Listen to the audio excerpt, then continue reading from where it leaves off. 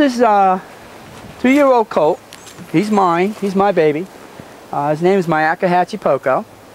And uh, what I wanted to do is to show you the contrast between a horse like Wendy that's had some abuse problems and how long it takes to get her or him situated to understand that we're not all about pain and hurt and everything else.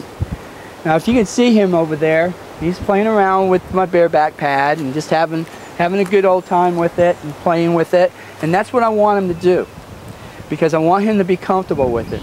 If a horse puts their nose on something like that and they play with it, then they're less likely to be afraid of it.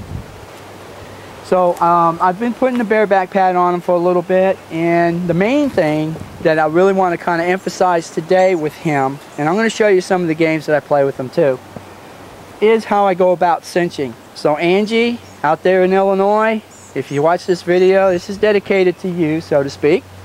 So that I think you still have your colt and uh, if you don't, well, at least the next one that comes up, you'll have a pretty good idea of different things you can do with them. Now, I want to do, I do want to caution you about one thing, and I want people to get upset, but I may have to discipline him from time to time. He's not been gelded. He's a colt, so he's he's got his equipment, and he his main problem that I have with him is him nipping. Now, it's not that he wants to hurt or anything like that. That's just what he does, and I have to stay on top of it. So you'll probably hear me say no bite, no bite, because I want to pre-warn him. Now if I have to get onto him, there's two things that I'm going to do to discipline him. And this is where I don't want anybody to get upset, because you can't just let him bite you and not do anything about it. But the discipline that I'm going to do is structural. So there's going to be three things. One, if he nips me and I'm close enough by with my hand, I'm going to flick him, just like this right on his mouth. And you'll see his head go up like that. Now that doesn't mean that he's going to be head shy. That just means I don't want you to bite me no more because I can still get my hands on his face and I can still rub his nose. But him being a colt, two years old, might have some teeth going, going, you know, problems, gums, whatever. I rub those and massage those also, but I still have to let them know not to bite. If I'm in a position that I can't flick them, then I will pop them on the neck one time. Or I will take the end of my rope and pop them on the butt one time. Now it may seem like it's harsh, but when you think about it, those are the two areas that the mare goes to discipline their baby. They will either bite their butt or they will bite their neck to let them know that what they've just done is not acceptable.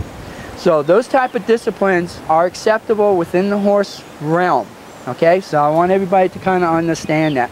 Now you can agree with it, you can disagree with it, but I'm not going to put a stud chain and rack his nose or just lay into him and get all kinds of upset. Because if I do, I might as well put him away and call it a day. All right? Okay. So again, here we go with my approach. I'm coming off to the side. So he knows that I'm here, even though right now he's kind of like having a good time with my bareback pad. so he's playing with it, and that's okay. I want him to. And then if he bonks himself in the head, then he'll know he needs to quit playing. Okay, buddy boy, are you done? Okay, so I'm going to make my approach. And look at it this way. If he's got something in his mouth, he's less apt to bite me, right? Okay, so now what I'm going to do is I'm going to take that away from him. He's got it all good and slobbery and goobery too here. So I'm going to take my thumb and I'm going to place it in here, put a little pressure on. If that doesn't work, then I'm going to put it right here where the bit would go and put pressure on until he releases it.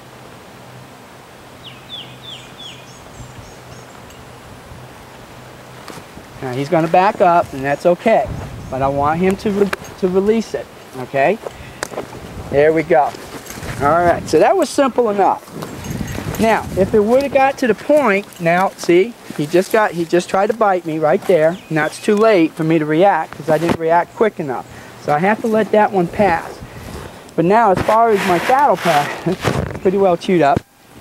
Now that's the end of that. So now, what I want him to do is get away from. Get away. Go. Back. Get away.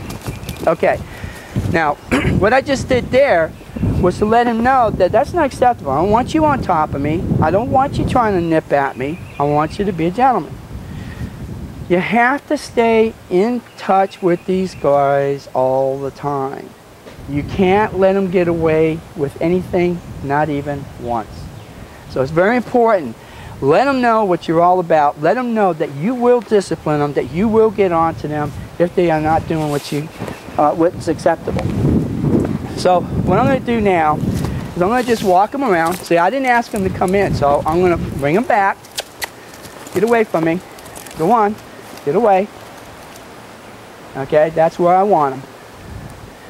Looking and chewing. All right, now, that's kind of like a little more introvert. You did a little licking and chewing, kept his tongue inside. But a lot of times he's very animated and he will lick and chew and you can see his tongue coming out. Now I'm going to walk him around half circle here for a little bit and then I'm going to put the pad on and I'm going to show you how I go about doing that.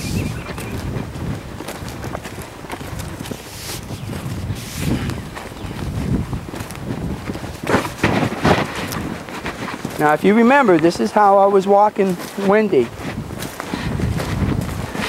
Bump, bump, bump. I knew he was going to go after that pad. I just told him no. So I bumped him. Okay, didn't jerk on him or anything. I bumped him. Big difference between bumping and jerking.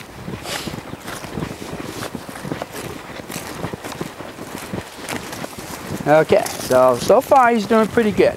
Kind of behaving himself. But that's subject to change. Okay, he stopped. I'm going to keep the pressure on him until he decides to walk on. He had that blue brass hook there in his mouth. Decided that was a little uncomfortable, so he took it off. All right, took it out. So now, I'm going to go ahead and I'm going to put the pad on. Bump, bump. See that? He wanted to go to that pad again, and I said no. So I bumped him.